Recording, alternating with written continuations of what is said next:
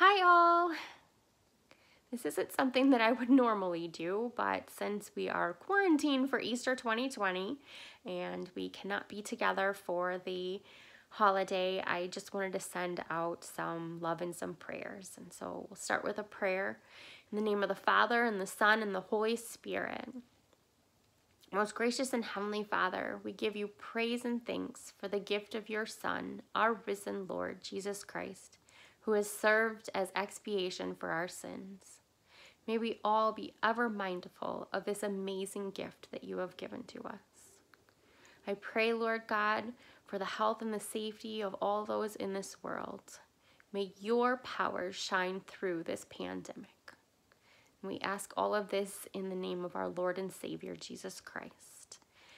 Amen. In the name of the Father, the Son, and the Holy Spirit. Amen and uh, thought I would go ahead and, and sing a little bit of a song, more so as a prayer than anything else. And if you know it, please um, feel free to sing along with this video.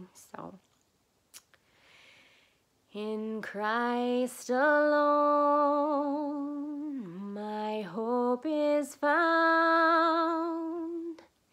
He is my light, my strength my song, this cornerstone, this solid ground, firm through the fiercest drought and storm. What heights of love,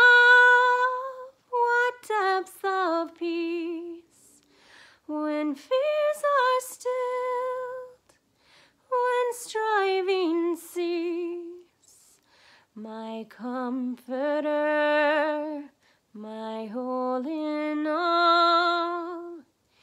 Here in the love of Christ I stand.